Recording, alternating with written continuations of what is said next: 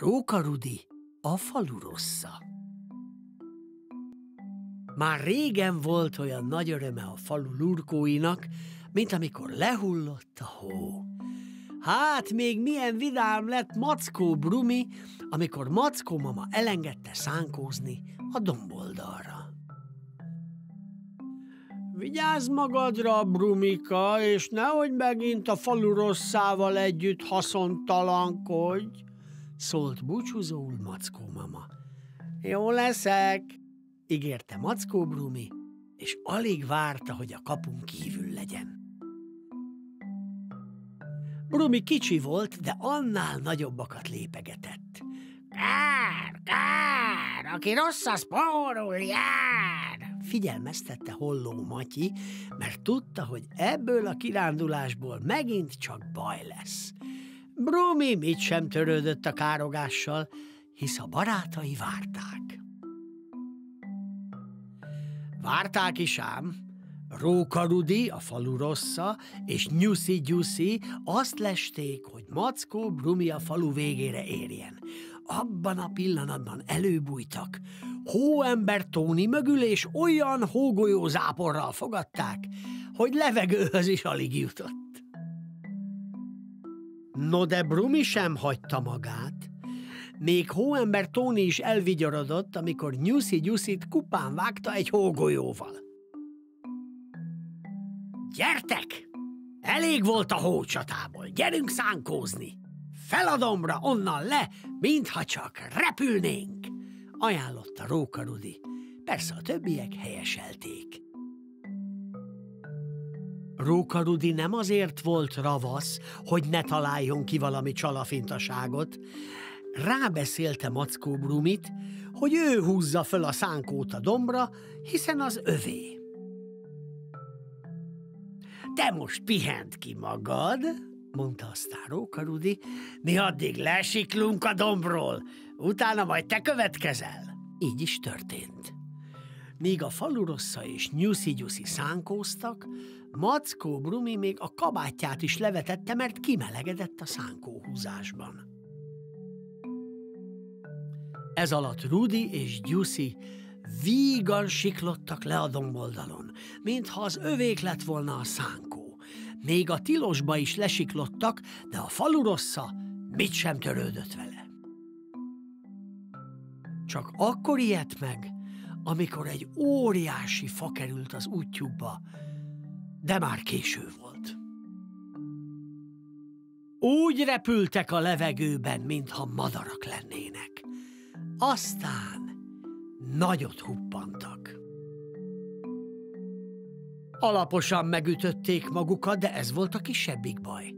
Sokkal nagyobb baj volt az, hogy darabokra tört Mackó Brumi szánkója. Jaj, mit fog szólni a mamám? Nem merek hazamenni, kiáltotta kétségbeesve Brumi, mikor meglátta a ripityára tört szánkójának darabjait. Kár, kár, aki rossz, az pórul jár! Figyelmeztette újból Brumit Holló Matyi, de ez most sem hallgatott a károgásra. Csúszkáljuk síkosra az útjegét! Biztatta őket Róka Rudi, mikor visszatértek a faluba. Mindjárt erre jön Morgó bácsi, és majd nagyot huppan. A két haszontalannak tetszett a dolog. A gézengúzok aztán elbújtak, és lesték, hogy mi történik. Morgó bácsi kip-kop lépegetett botjára támaszkodva. Egyszerre csak a lába, akarom mondani, a talpa alól kicsúszott a talaj. Megálljatok, haszontalan kölykök, ellátom én a bajotokat! dörmögte Morgó bácsi mérgesen. De mire feltápászkodott, azok már messzire szaladtak. De nem ám haza, vissza a tójegéhez. Itt lehet csak igazán csúszkálni, bátorította őket Róka Rudi. Mackó Bruminak és Nyuszi Gyuszinak azonban nem tetszett a dolog, látták, hogy a tó nincs erősen befagyva, és mitagadás, féltek. Gyertek csak nyugodtan utánam! Fordult hátra, és Mackó Bruminak nem kellett sok bíztatás. Nagyot lódult a jégen. De jaj, mi történt? Beszakadt a jég, Mackó Brumi pedig zsupsz, beleesett a hideg tóba. Már-már majdnem a jég alá került, amikor Róka Rudinak és Nyuszi Nyuszinak sikerült kihúznia. De nem tudott törülni a megmenekülésnek, mert a víz nyomban ráfagyott a ruhájára. Még a könnyei is megfagytak. Most már aztán szaladt haza. Nem bánt semmit, csak egyszer otthon legyen. Kár, kár, aki rossz, az spórul jár. Károkta a holló, pedig most már ő is sajnálta Mackó Brumit. Hát veled mi történt? Ijedezett Mackó mama, amikor Brumi fiát meglátta. Ugye megmondtam, hogy vigyázz magadra, és ne barátkozzál azzal a haszontalan rókarudival. Brumi még válaszolni sem tudott.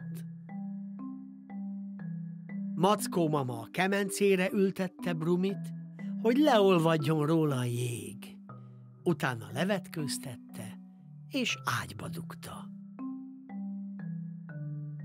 Persze beteg lett. Köhögött, láza volt, a feje is fájt, a torka is, és enni sem tudott. Megfogadta, hogy nem hallgat többé Róka Rudira, csak most az egyszer gyógyítsa meg medve doktor. De bizony még sokáig feküdt betegen az ágyban. Igaza lett Holló Matyinak. Vége.